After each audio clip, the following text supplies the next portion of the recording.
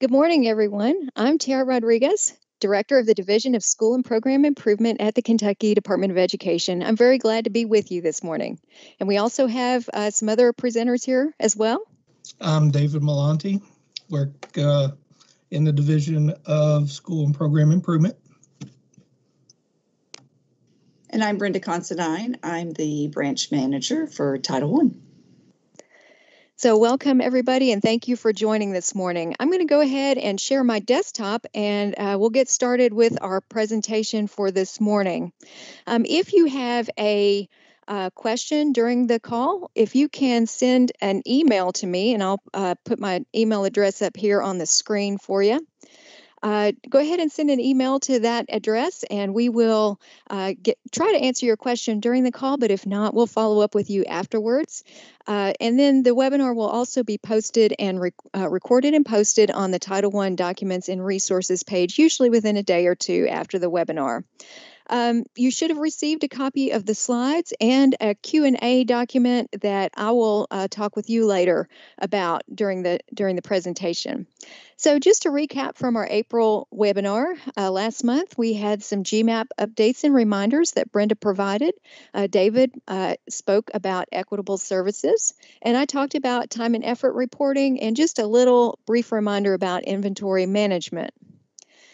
For our agenda today, uh, Brenda is going to again talk about uh, uh, the Title I application in GMAP, and David will uh, chime in on that as well. Um, we have some the questions that I mentioned, the Q&A document from the April webinar, and I'll be talking about that. And then uh, David and Brenda have some uh, information to share about upcoming training and technical assistance opportunities. So Brenda, do you want to go ahead and tell us about what's new in the world of GMAP?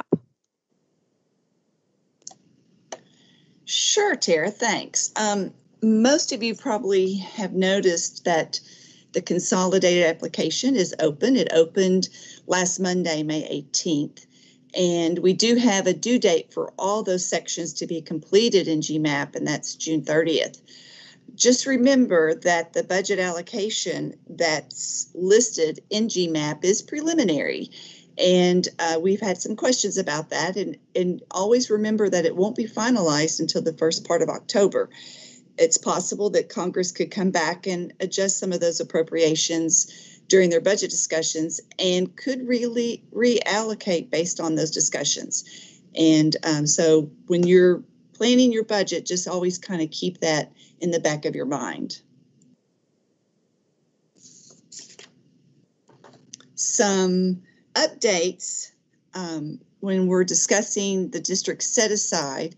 Um, there is instances that you will have to reserve those at the district level. Um, and you're required to reserve uh, certain areas of those, especially homelessness, that needs to be reserved. Uh, please always refer to the district guidance. Uh, if you click on this PowerPoint, that is a live link and it will take you to the Title I webpage, and that is an excellent document. It gives you uh, acceptable uses on those district set asides in situations where we would not allow set asides to occur. So please make sure you refer to that document. And we're going to talk a little bit more about district set asides just because when we're looking at applications, those are areas that sometimes districts struggle with or they have a lot of questions about. So, an area that we do get some questions is regarding foster care. Uh, remember that districts may use Title I funds to pay for those additional costs when you need to transport children that are in foster care to keep them in their schools of origin. But please remember you have to collaborate with your child welfare agency. It is left up to the district to develop and implement clear and written procedures for how that transportation will be provided and arranged and funded for the duration of that child's time in foster care.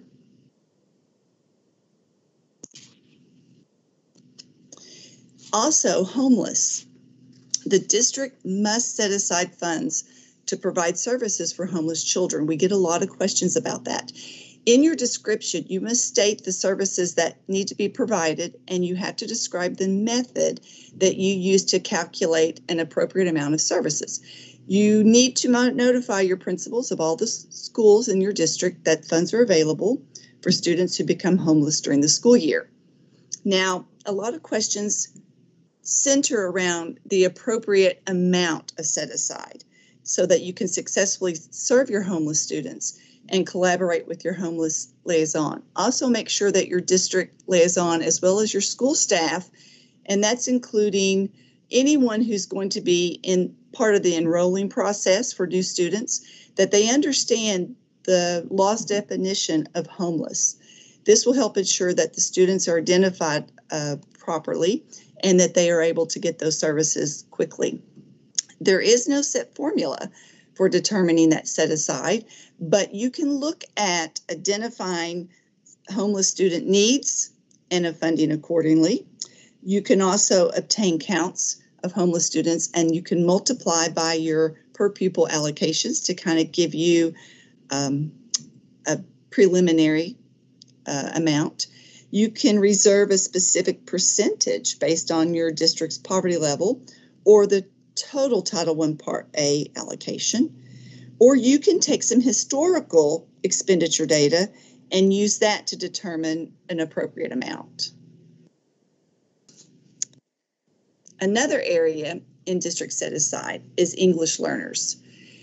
The districts are able to provide supplemental services or materials for students that are attending Title I schools only. So you may not pay for any part of their core program with federal funds, as this would uh, violate your Title VI of the Civil Rights Act. But if supplemental services are provided, the narrative must provide a description of specific services or materials. And there are several requirements for serving ELs under Title I Part A, which must be met. Always remember that whether you're reserving funds or not, you must note in the district set aside that you are meeting the following requirements and note any funding sources that are being used. So that needs to be included in your English learners narrative. So that was kind of a quick recap of district set asides. Um, always remember that your consultant is available for technical assistance and support you through this GMAP process. And you always have the help for current page, which is embedded in the main navigation window for you. And monitor your consolidated checklist after you get your application completed. The consultants were going to be providing feedback during this time, this approval process time, through the checklist. And it's always nice to check that frequently. Taryn, that's about all I have. I know David wanted to talk a little bit about our upcoming um, training, maybe. Yeah, Brenda. Um, I think coordinators just need to be aware that we are going to offer some training on GMAP where we're going to um, walk through page by page um, and talk a little bit about helpful hints some hangups that um, districts experience sometimes, and just general navigation um, through the um, system itself. Um, so, if you're not accustomed to using GMAP, it would be a, a good resource for you to uh, join that. We'll plan on recording that particular webinar so it can be posted and shared. Um, and Brenda, you sent out a, an invitation directly to coordinators. What was the date on that? I forgot right offhand. Uh, June 9th. June 9th. Is our, is our target date for that technical assistance training. Okay, we are also going to be sending out um, invitations to join on just some new coordinator training. It's going to be very similar if you attended last year's training to that. Um, but if you are brand new in the role, um, I would recommend, um, highly recommend joining that as well. Um, it will kind of, we'll walk you through the general, the basics of Title One Part A and talk a little bit about your job responsibilities and where you uh, need to be focusing work at certain times of the year. Um, so we'll kind of go through the sections of the law and and um, give you the basics on that. There will be plenty of time for some discussion and questions there as well. Um, we've we will um, send that that out in a um, Commissioner's Monday email, and uh, we'll ask you to register for one of the dates that we're offering. Um, we're just going to ask you to register so we don't get 200 people on one um, one session.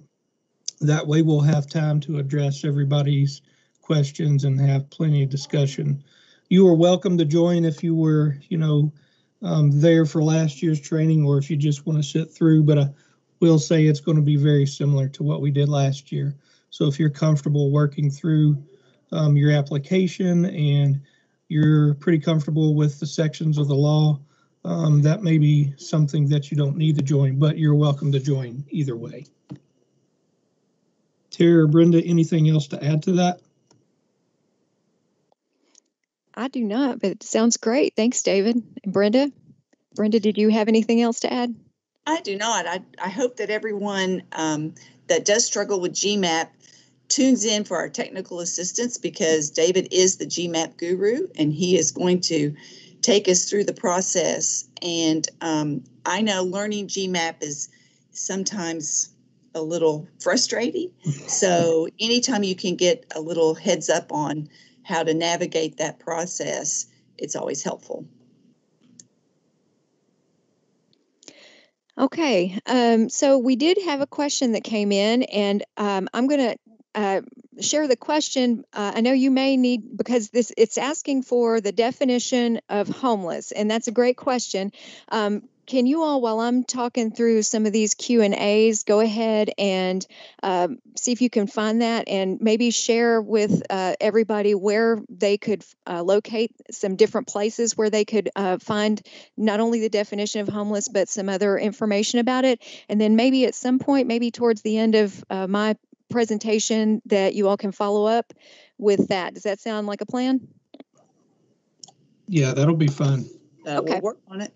All right, then we'll go ahead and get started on uh, some of the Q and A's, uh, and I'm going to share with you or try to share with you some different uh, resources and some screens. And I'm going to start with the Q and A document that was sent out here um, right before the webinar started. So um, I'm not going to read that whole thing with you, but there are some things that I just want to highlight and go over.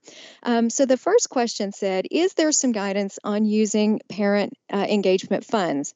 And so, uh, and and let me just back up just a second to explain where these questions came from. During our last month's webinar, we had several questions that came in towards the end, and we didn't have a chance to uh, get those answers to you.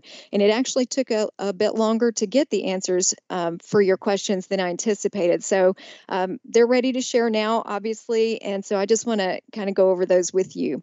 So back to this question on parent and family engagement. Um, you can read the response here that the res- some resources are provided and so on but this is a, a question that we've gotten a lot um, including during in that uh, survey that you've gotten some links to several districts have asked for ideas on parent family engagement and especially at the high school level. So i wanted to share um, a couple of things that districts have actually uh, uh, forwarded on to us. Um, we had a couple that were willing to uh, let us um, share some of their efforts with you. So I'm going to take a few minutes to talk about what they're doing.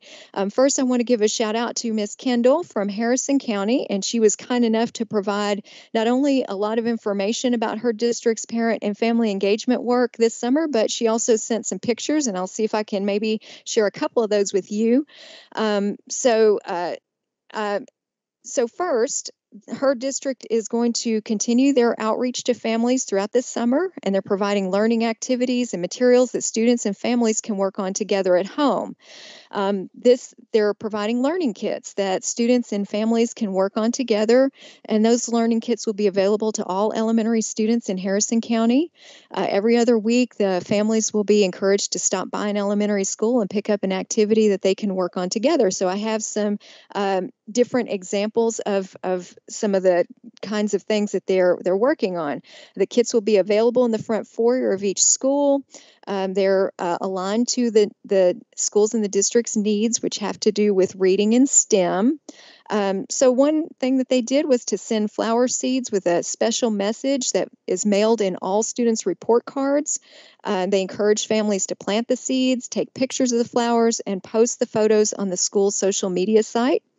They also gave students spiral notebooks with some instructions in the front on the kinds of things that students could write in their notebook. And they're also working with their 21st century staff to provide other learning opportunities for families that, that families and students could do at home together. Uh, things like kite making, birdhouse building, uh, designing a family crest, etc. And families are encouraged to take pictures and post those on their school's social media sites. And so there are some other activities that she shared. Uh, there's a, the notebook starter activity that I mentioned. Um, let me see if I can pull some things up here just to give you some visuals. Let's start with the, um, uh, this was, oops, changed position on me.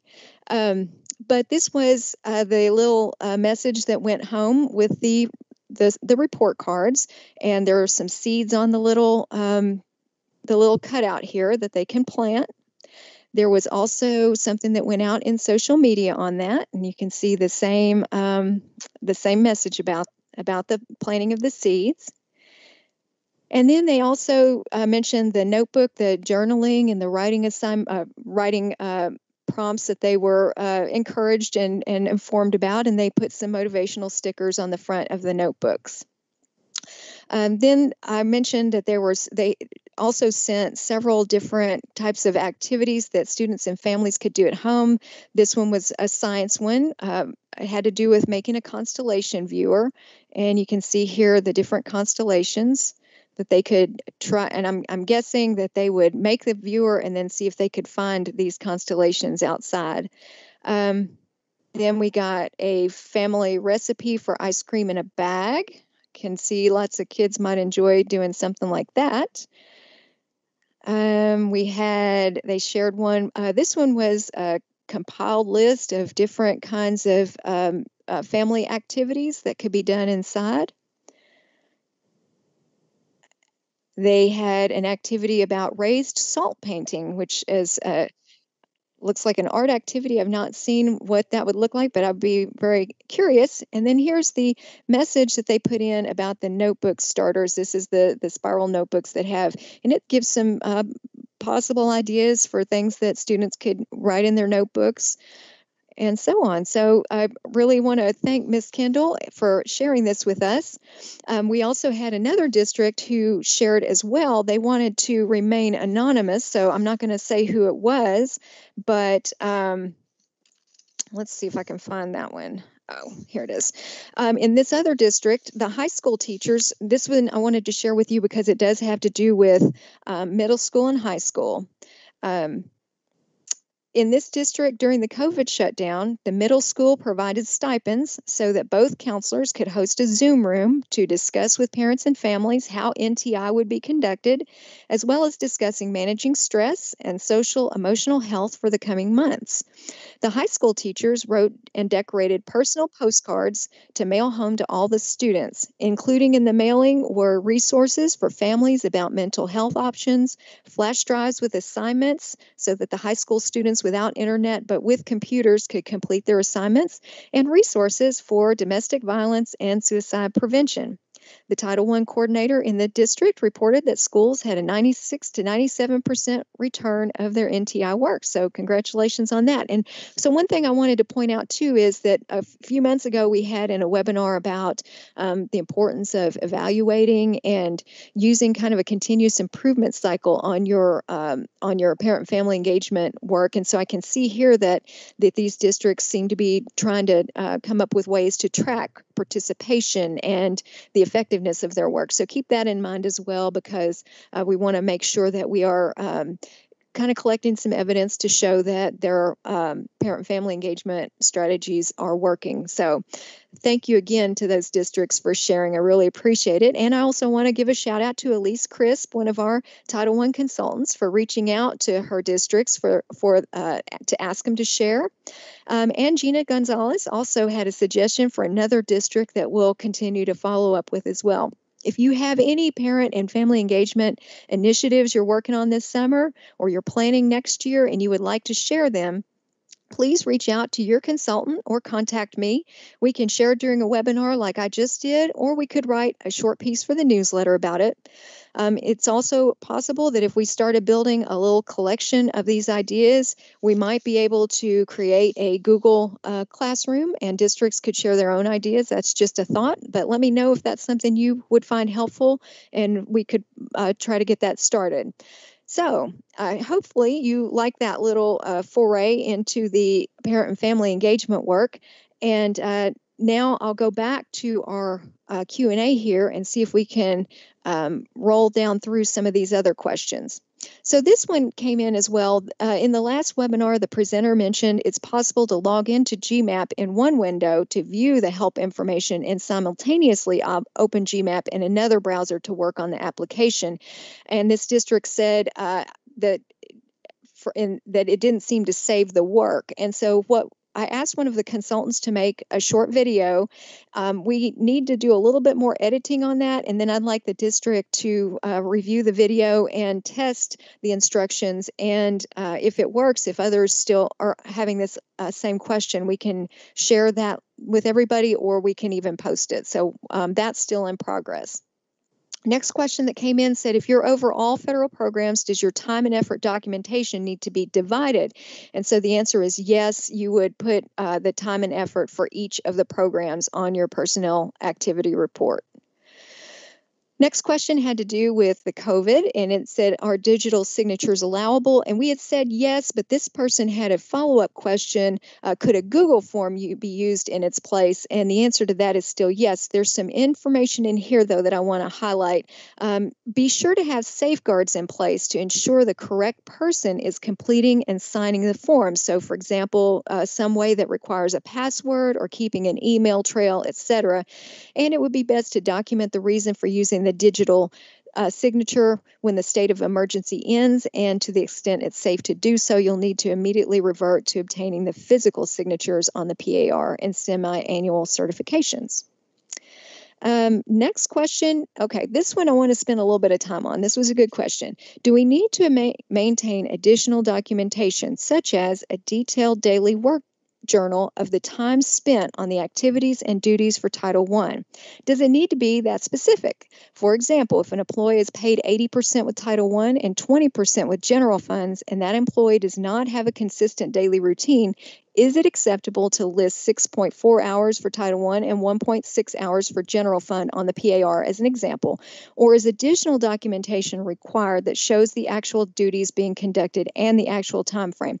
So here is the uh, here's the answer to that. The time would be documented on the PAR in the way you've indicated by logging the number of hours worked on each cost objective to account for all time worked. Both the PAR and semi annual certifications need to be signed and dated by the employee and a supervisor who has direct knowledge of the employee's duties. That is an important piece of documentation and an internal control because you're attesting that this is accurate, this is what you worked, and your supervisor is also confirming that they know that you did and they're they're confirming that you did work that time. As for documentation, if you look on the checklist that's posted, it tells you what uh, the, the types of documentation where we ask for. Uh, we want to see who is paid, the, the uh, names, a list of who's being paid partly or fully with Title I. And if they're using the substitute or the semi annual certification, we would want to see that they have a set schedule and would want to see that.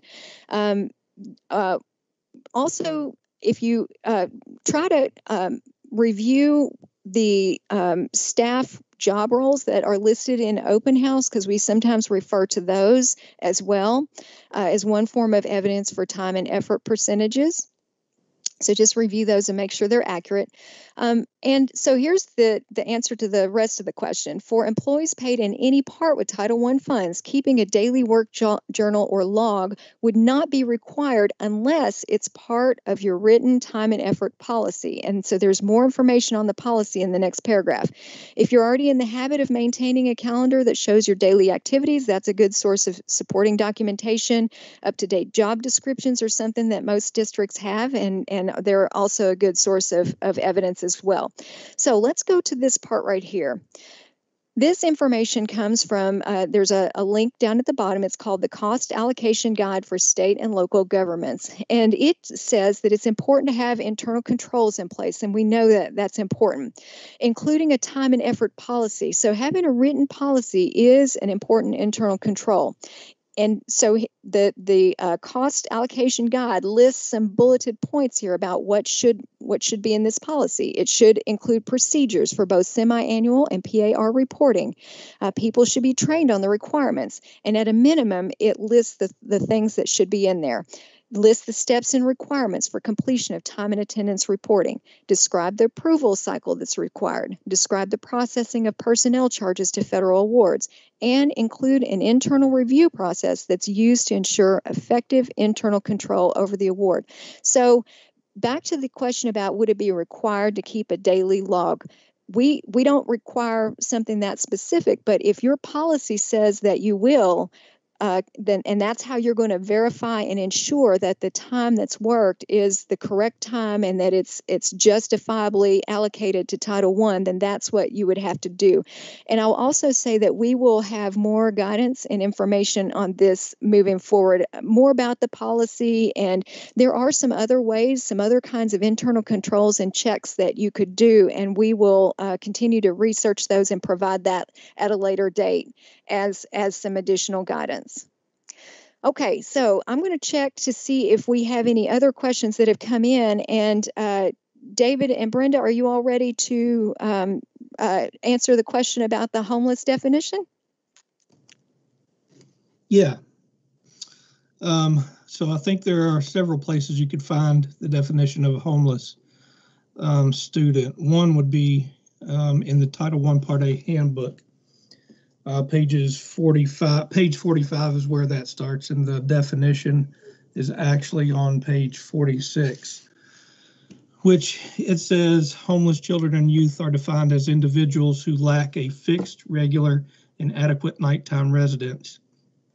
That might include kids who are sharing housing with other people, living in motels, hotels, um, campgrounds, um, living in emergency or transitional transitional shelters or abandoned in hospitals. Um, it could include children and youth who have a nighttime residence that is in a public or private place not designed for um, regular sleeping accommodation.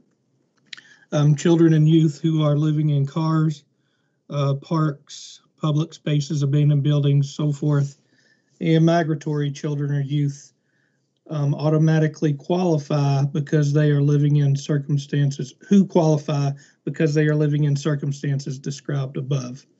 Um, so another place you might look is on the KDE web page.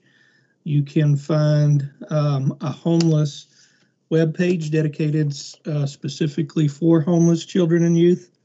Um, that includes additional information such as applying for the competitive McKinney-Vento grant, um, which not every district um, receives. So there are several resources you can kind of check into for a definition of, of homeless children and youth.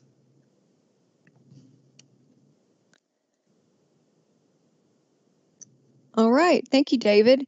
Um, we have had a few other questions to come in. They most of them seem like they're kind of an individual thing, and there's some other things we may need to uh, have some discussion on. But I think that this is pretty much it for the content of our webinar today. But if you did send us a question or a comment, we will be sure to follow up with you afterward. Maybe, hopefully today, maybe tomorrow.